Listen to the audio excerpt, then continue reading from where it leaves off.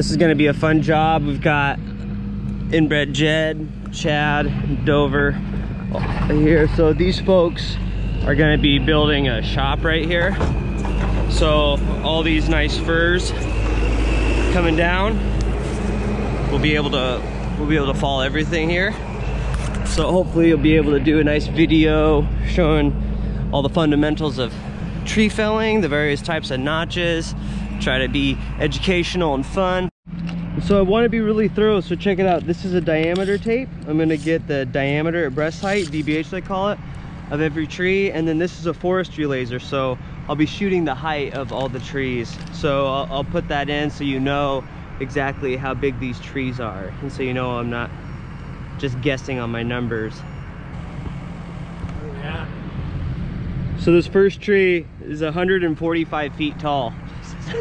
yeah, that's a tall one. Is 31 inches in diameter. All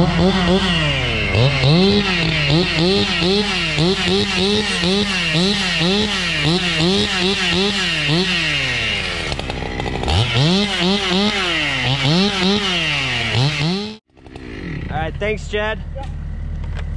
All right, tree number one coming up. So we're gonna leave tall stumps because they're gonna rip these over with excavator. They want something to grab. Usually, you know, I would wanna cut it lower. The lower the better. I'm gonna do a Humboldt notch. I'll explain that in a minute.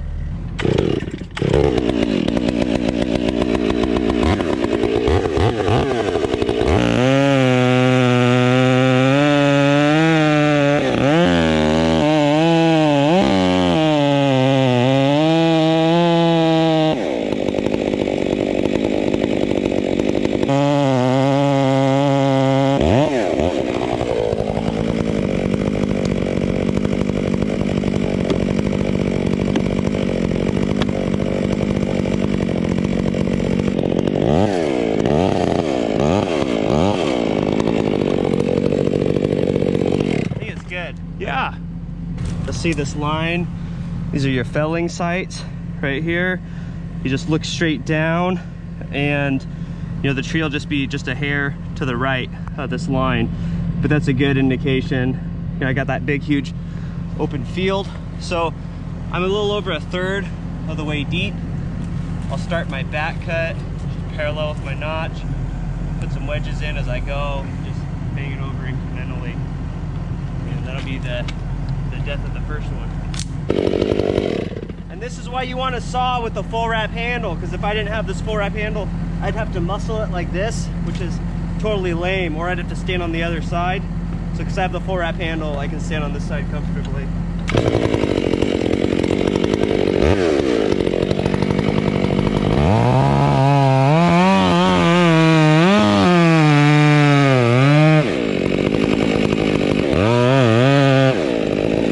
Another thing you can do is you take your wedge and you just barely stick it in there.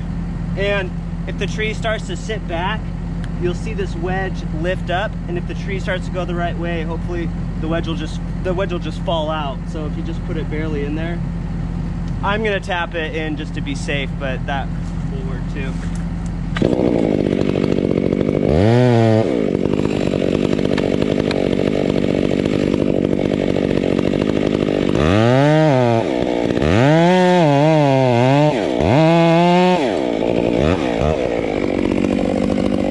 So I'm getting close to the end on this side. I'm gonna go to the other side because my bar is short and get that. I don't wanna just keep cutting through because then I'll go through my face cut.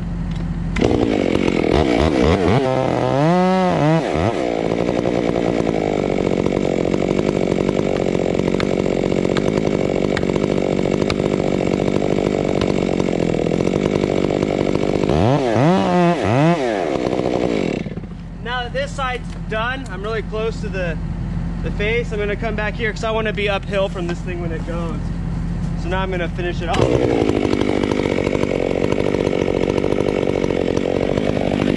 So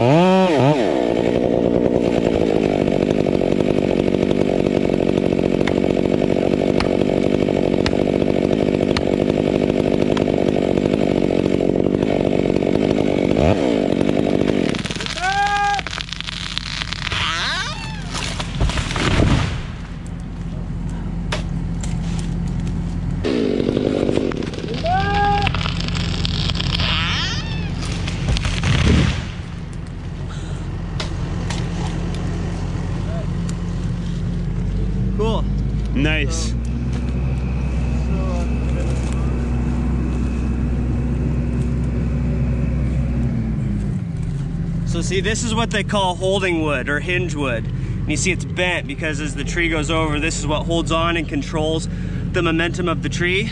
If you want to bring the GoPro over here, Jed, just explain this a little bit. So you can see my bar was short right here, which is why I walked over to the other side.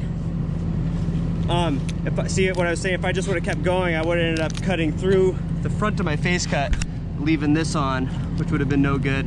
You want about 10% is the rule of thumb across your hinge wood right here.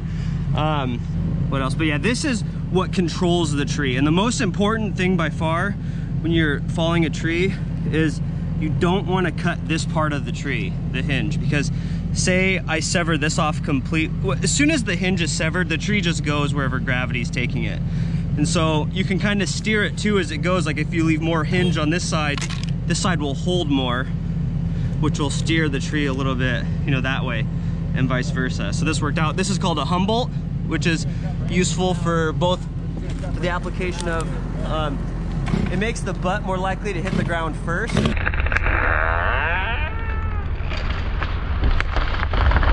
So it's more likely to hit the ground, the butt first, rather than digging the tip into the ground. And also it makes the butt square. If I did a conventional notch, that would eat into the log.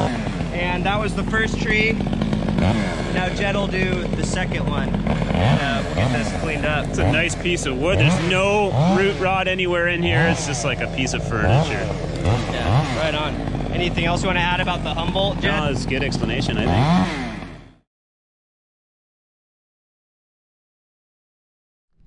Jed's gonna do this one. Tree number two. This one is 150 feet tall. This one's 26 inches in diameter. I, I want to try to cut a gapped face in this fir, which is I think what the old time timber cutters used to get really big trees over. My understanding was because the, the compression has to go somewhere. As that tree leans this way, all the compression is stacking up on the front part of the hinge. And I was told you'd save out more hinge wood if you uh, stacked that compression over a greater area of wood fiber before the bottom of the technically technically the scarf I guess. No snipe. There's two different openings and the snipe would be from the bottom. So you knock out a gap snipe the bottom. That's the idea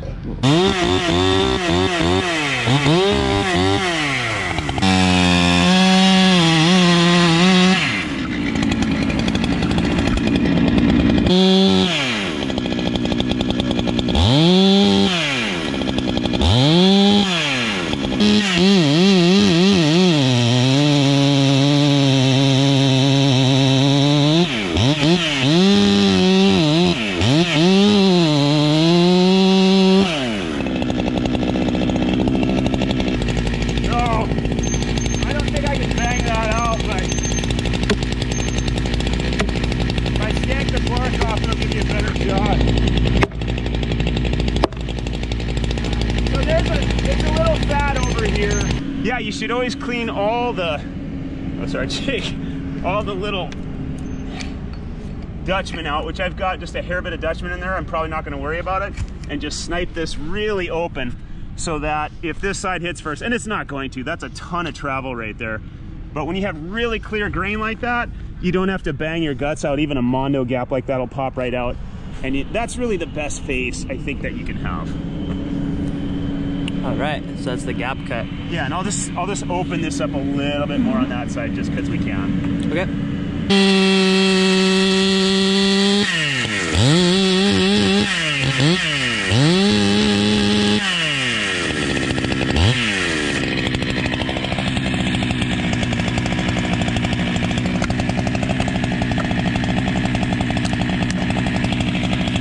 Now we're pretty wide. If you want, go ahead, take a big old snipe off of it.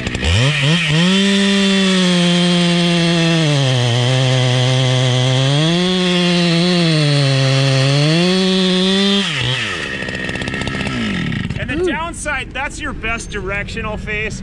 The downside is it takes a little bit longer, so we usually don't use it. We usually just try to match our cuts, bang it out. That's good enough for most of the shots that we need. This gives you maximum travel, but it's gonna hit the ground harder. It's gonna bust more wood, it's gonna drive more limbs into the ground. Um, not much, but the, a gentler Humboldt will shoot it out a little bit softer. But this will give you the most control. Most directional control. If you had a real critical shot, I would do that every time.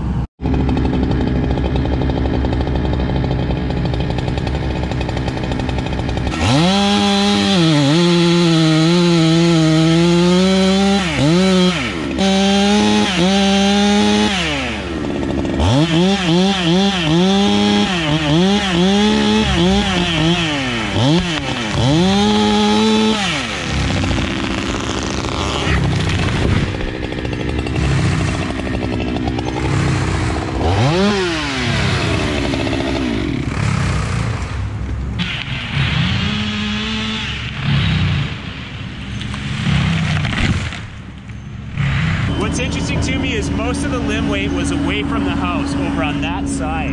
So that would make that the compression side of the hinge. Also, this is in compression as the tree goes over. And this fiber is stretching and this is scrunching up really tight. And so I was taught that that distributes the compression over a greater amount of wood fiber, which is preferable, and that th this this would indicate that. So this actually pulled wood as it left, it stacked up, and then as it finally hit the ground and ripped away, it actually took some of this on the tension side. And it's interesting to me that it didn't pull any of that wood on the compression side. So that gives the log the greatest amount of travel, uh, directional control. The closing of the face is not constituting an impediment to the holding power of the holding wood. Once the face closes, you're breaking off all your holding power. And uh, how deep do you want to go when you're cutting a face cut? I stick to a third. You know, this was a head leaner. It, leaned at the shot, you know, so Yeah. no banging wedges, just letting it go pretty much. Getting a wedge for security just in case. If it's windy, it's not today. Um, I stick to a third. There's a million reasons why pro cutters would want to go farther back. You, you see a lot of pro redwood fallers, they'll cut in at least 50%. But for me, I want room for my wedges and my guide bar. I don't want to tap, tap, cut, cut, tap, tap. That's really annoying. You bang out your chisels on your saw and, and you goof your wedges up and it's no fun. All right, cool. So that was the gap cut. So I guess this guy's next. Tree number three. Number three, this one is 149 feet tall, 29 inches in diameter at chest height. I'm gonna do a conventional face cut, conventional notch, and this is the most common uh, notch that people use to, drop trees.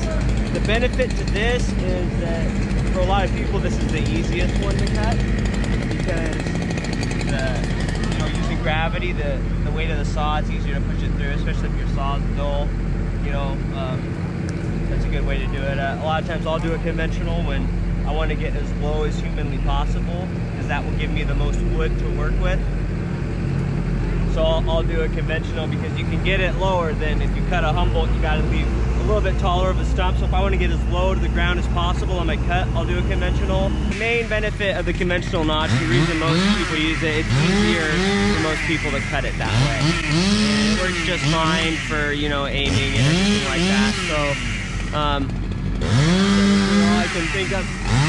This tree leans the right way too, um, so I'm just gonna go a third of the way in, and shouldn't need any wedges or anything. When I'm doing this, I like to, you know, figure my depth, and I like to dog in at a third, and that way I can just rotate the tip of my bar. I don't want to be jiggling my saw a whole bunch when I do this, because then I'll have inconsistent wood in the center. It'll be harder for me to speculate what exactly my wood looks like inside the cut. So just dog it in where you want it and then rotate it more or less.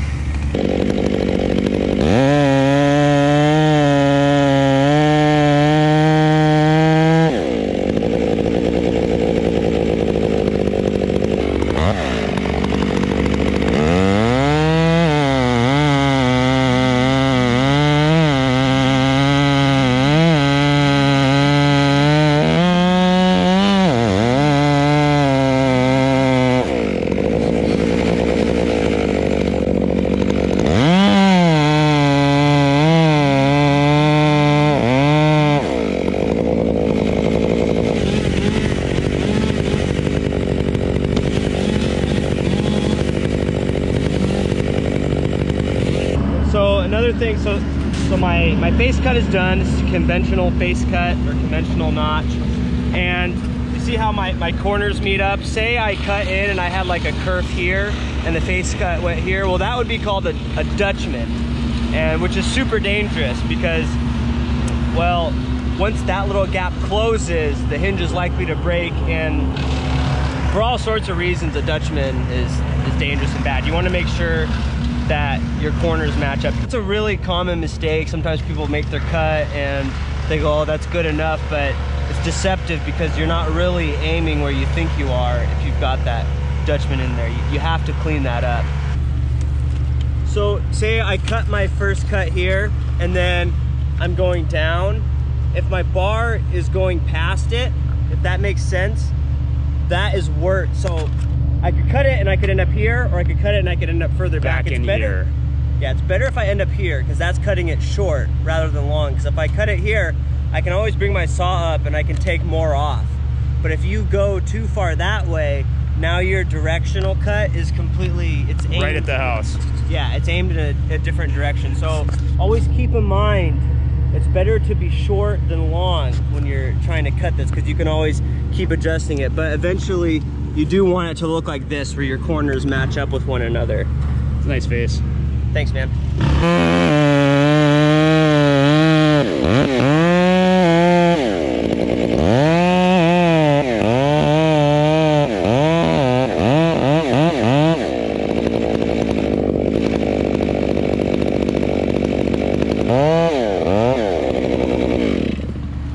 All right, and I don't have a whole lot of holding wood left.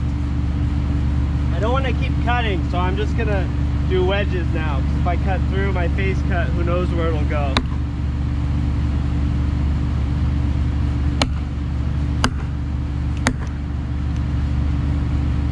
So it's starting to go. Yep, here we go.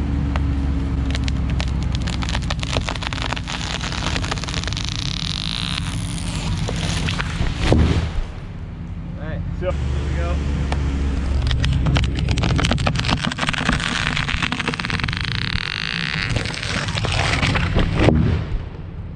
Worked out pretty well.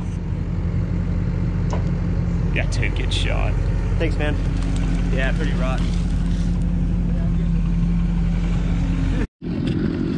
So I'll show you one of the disadvantages to this, the, the conventional.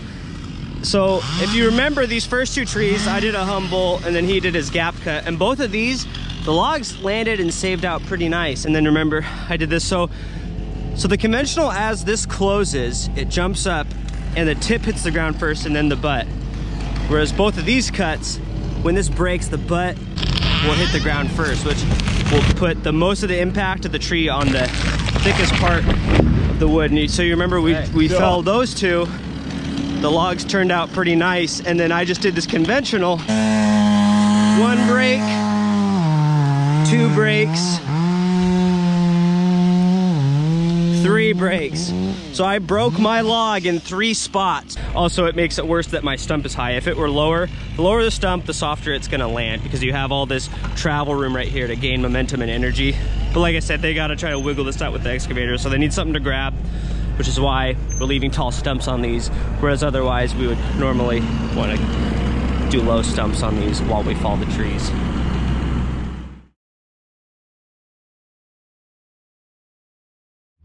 All right, this is tree number four. 26 inches in diameter and 140 feet tall.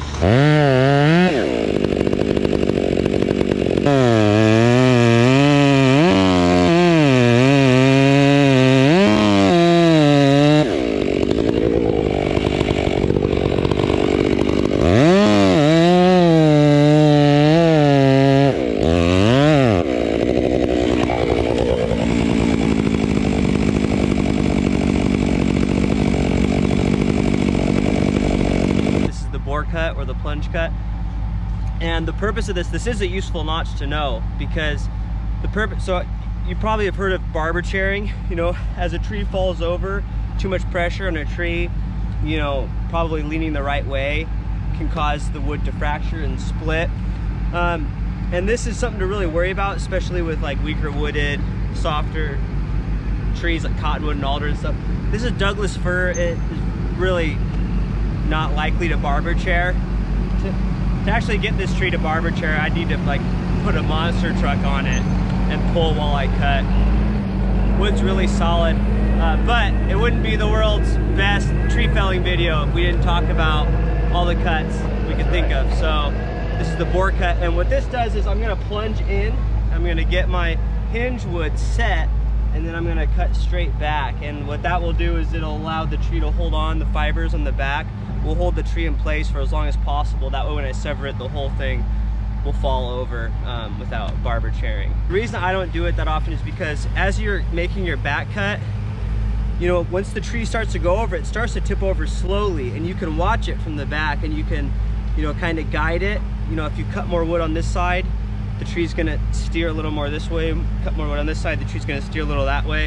And as long as you don't cut through your holding wood, you have a little bit of control as it goes down. Now with the bore cut, while it's true that you mitigate the, you know, the potential problem of uh, the barber chair, you don't have as much control because once you get it set and you cut it back, it just pops and it goes right where you're aimed at. So that's why it's it's not a very popular cut, at least over here. So, uh, but I'm gonna do it and you're gonna see how the bore cut's done. It, it leans pretty well in the direction that I want it. And so you got to think if a tree is leaning heavy, you know, there's a lot of pressure on that stem. When you stick your saw in the back of it, you know, it that too much force can cause, you know, uh, can cause it to barber chair, which can make for a really dangerous situation. I'm gonna plunge in and I'm gonna try to do it right here and leave in my, uh, get it cut to about 10% holding wood and then work my way back.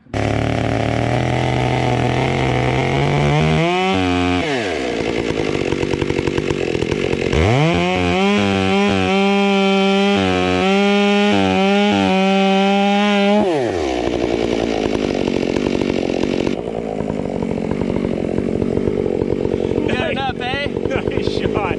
Most guys cut up to their hinge and then rip out the back. Oh. But look at how perfect that was. That'll do, I guess. Okay, so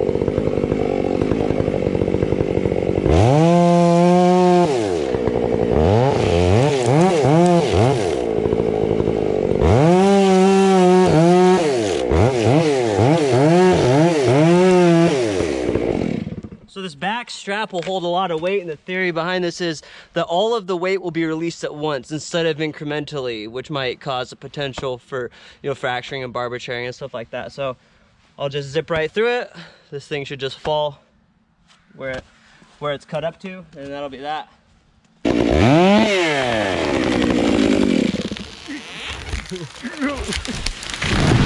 oh, good.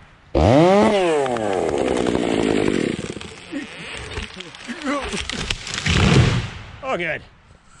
All right. So that was the bore cut. Hey, that worked pretty well. Yeah, one caveat on that. You can you can bore in um, a little bit behind where Jake was, like come into a, a real safe spot in here. And you still have plenty of backstrap. The tree's never gonna go anywhere, no matter how heavily it's leaning with about four inches of wood on the sapwood. You can bore in and then work your way up really carefully. Um, take your time on the far side, dog in, work. But that would have made more the sense. way huh? you did it was way more manly. And I, yeah. Uh, yeah, that would have made more sense. but you know it's I, I don't use it so i really shouldn't Yeah, and it's worth noting, so the wood back here, so this would be tension wood, and this is compression wood. So you can imagine the wood holding here, it's like a guy wire, and this over here is like a prop. A little bit of wood here is way, way stronger than a little bit of wood mm-hmm. right here. Mm-hmm. So a little bit can hold a lot right here.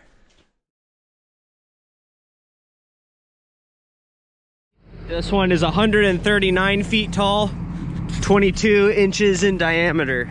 Well kind of significant side lean to the house. If i hold this string right in the middle of the stump i can see that it clears the string about two feet toward the house. See if I can get that. yeah. I don't know. Yeah i don't know but What are you saying? all the limb weight is to the house the top leads to the house and then the trunk weight is also about two feet out of center from the from the middle of the stump there. So there's a trick that I learned called the Sizwill, which holds a lot more tension than an ordinary cut would. So I'm gonna try to show that. Okay. And then also try to swing the tree off, off the Sizwill a bit. So that would be an angled cut this way, and it tends to swing the tree like a door. Cool. Yeah.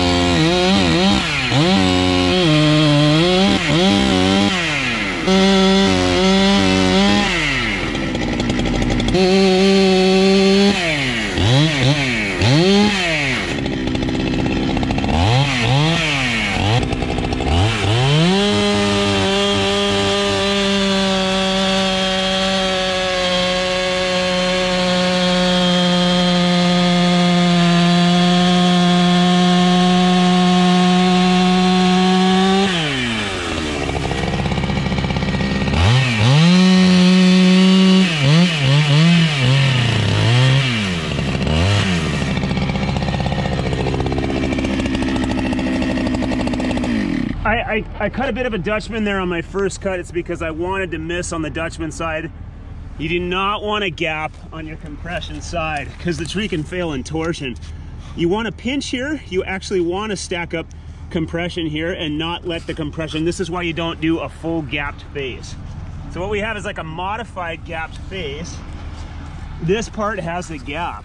And if I want, I'll take and skank this little corner off here and that'll actually save that Sizwill out a bit better. This part's gonna close first and this is gonna hold like nobody's business. You can see the fiber pole once the tree's down. It it holds the world. If this were leaning any hard than any harder than this, we'd have to put a rope in there and tie it 90 degrees over there to hold the side lean.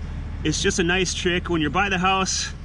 This is kind of borderline for me. I, I wouldn't really try to swing it uh, any more side lean than that. So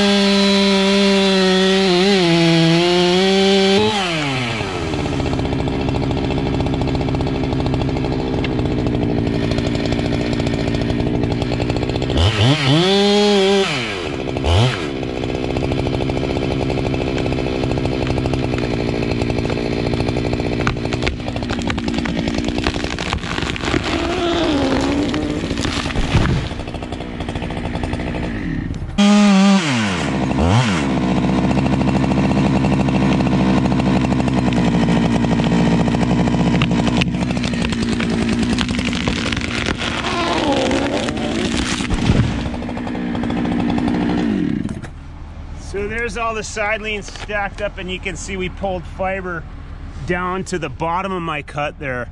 So instead of your tension just being all racked up on this one little bit of holding wood, you've effectually spread it over a greater amount of wood fire. It makes almost like a cable on your tension side. I love this trick. It can be overrated if you try to get away with murder, but here and there it's it's really nice to use. Yeah, you as the tree pulled sideways, it even twisted a little bit and rolled. Yeah. So it even rolled like that a little bit. That held on real well, Jed. Yeah, that, that one worked out. It, it swung the tree nicely and yeah. Nice job, man.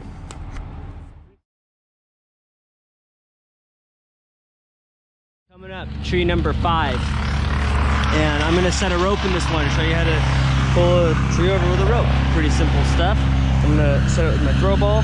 So I'm gonna take this, I'm gonna set a rope. I don't need to set it, I don't need to set it crazy high. I'm just gonna set it uh, about 35 feet up this fir right here. We'll have loads of leverage with the skid steer. So this is the safest way to take down a tree by just setting a rope to it. Take my rigging line. Take the carabiner off because I don't want that to get stuck. And all I'm gonna do is I'm just gonna twist the rope. That's a half hitch. I'll do that like, I don't know, five times or something.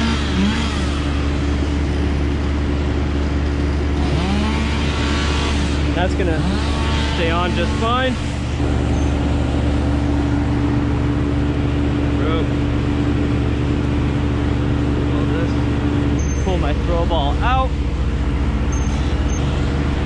And we're just gonna tie a running bowline.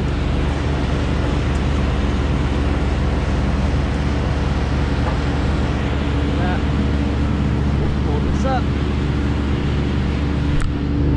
I'm just gonna grab this winch line. Is it in free spin? Yeah. I'm gonna come over here, show you a really handy knot. This is a bowline on a bight. So check this out. Just do a bight of rope How tall was it? like that. I haven't measured it. Oh, So you just do a bight like that, bring it up like this. See that?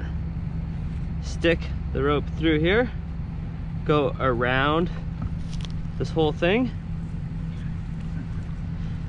pull that tight, and that's a bowline on a bight. Really useful, you can put a lot of weight on it, it'll come, it'll come right off when I'm done with this. Gonna clip this guy here. Go ahead, Dover, pull it tight. We don't need a ton of pull. This thing doesn't really lean back that hard. So we're just gonna snug it up. Yeah, it feels good, man. Just taut. You're pulling something over with a with a rope. You don't want to put a whole bunch of pressure on it right away. You just kind of want to hold the tree in place while you're getting cut up. If you put too much force on it, you can prematurely break the piece, you know, off of the stump. So we're just gonna get it snug. Chad is gonna do this one. And once it's cut up, he's about at 10% on his hinge wood. Then we'll just have Dover pull it right over. This should go pretty well. so Chad's gonna. What we're doing, Jed. Yeah, you're gonna stretch that tree out, Chad. Over there. Yeah, you got a weird cat face here. We should explain we're holding these stumps really high for the hoe. That they're gonna pull these out with a backhoe. So ordinarily we would come down a lot lower, say on a tree like that. It just gives you more room for wedges. Even though there's some flare in there, the grain's not quite as straight. Um, a bit of a cat face here. It's nothing to be concerned about. And then he's gonna cut it up here anyway. Chad, what do you think? Right in there, bud? So, yeah, we got a, a rope on her. It may go just off a little wedge bang. So, see how this works out. I think you're deep enough. Yeah.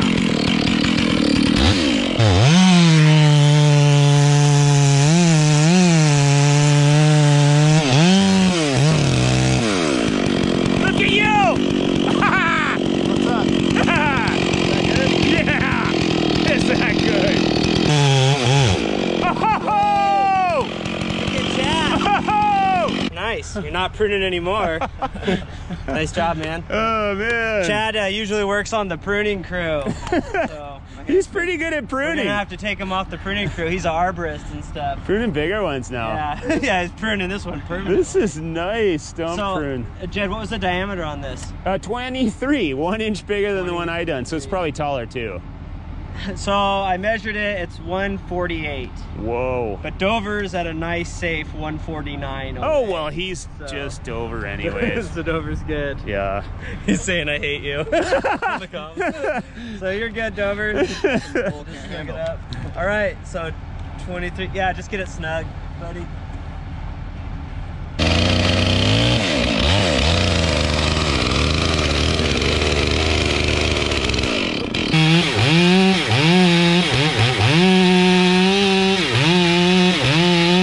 You should stop and walk around and look at Yep. from the other side, Yep. you know, just to make sure. You're plenty right now. You're really looking good here, but you know, you might take two more inches. Okay. You might bang it up Hang- real hang tight. right- And But as uh, soon as you want, if you don't have a lot of wood left, just let Dover know. He can just give it a tag. For sure. Trying to do it the all natural. Right.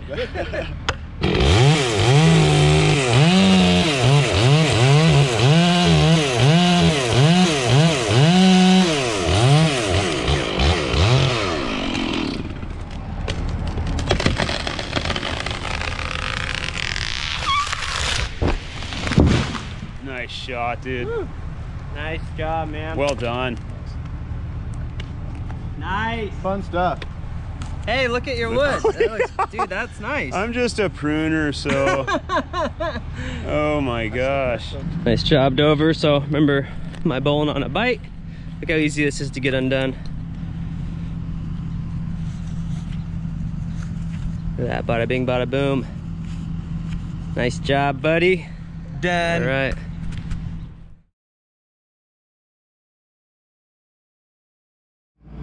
All right, so we got two trees left. We just got these two guys right here. They both lean back pretty hard. I'll demonstrate an open face, and Jed's gonna do a back cut first on this one. Tricky one. I'll just have uh, Dover here push this over for me. Let me show you what a, a bad notch looks like real quick.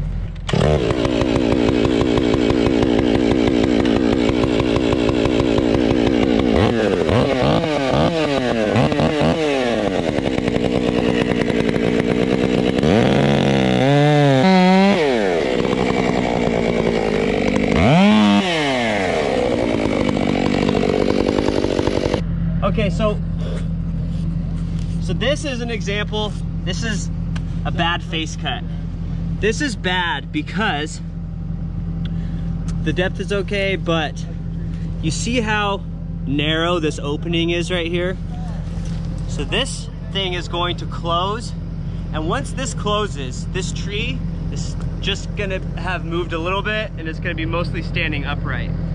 You don't want to fall stuff with these short notches because the whole idea of having this section of wood out here is so that as the tree, as the gap starts to close, your hinge wood is directing the tree where you want it to go. As soon as the face cut closes, it's game over. It just goes wherever gravity's taking it. That's why you want to have it to be, you, you want your face cut relatively open. And on a back leaning tree, you want it to be especially open because as this thing stands up, before it gets, once it's leaning where I want it to go, the face cut has to be large so that it has time to close all the way. If I just have it open a little bit, it's gonna, as soon as this thing closes, then, you know, the face cut's done operating. And by then, you just have to hope that you have enough momentum putting it the right way. So I'm gonna open this up and we're gonna push it over.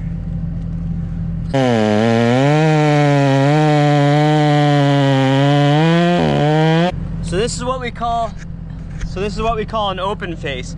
And a disadvantage, an advantage to this is it's gonna close slowly, so you'll have more control over a longer period of time. A disadvantage is the tip of this tree is gonna dig into the ground. Especially with our high stumps. Yeah, especially with a high stump. So we're gonna break it. Yeah, so the log is probably gonna break in a few spots, but I wanna do it anyways because this tree leans heavily back. And so I want this thing to be nice and open so it has lots of time close while Dover's pushing it over.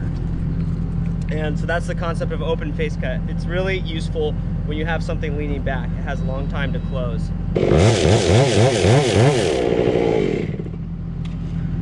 So I'm cut up to where I want to be. I'm gonna that another smack.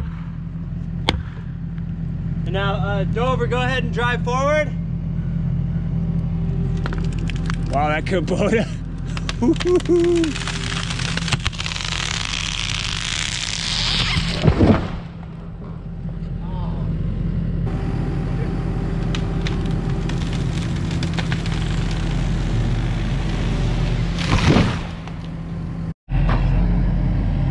was a little high on this side, but it all worked out the same. But you see what I mean? The face cut had a long time to close. If it would have been, uh, what would it be, narrow or shallow or something? Narrow, If it would have been narrow. Narrow, it would have closed as soon as you pushed it, and then it could have broken and gone who knows where. So when they lean back, it's nice to have, you know, a lot of room to work with. Yeah. So that was the open face. Let's uh, get this cleaned up. Missed another nail, Jig. Those Oh, black look at marks that. are usually nails in there. Maybe there's Nice. a fence right here. Weird. All right.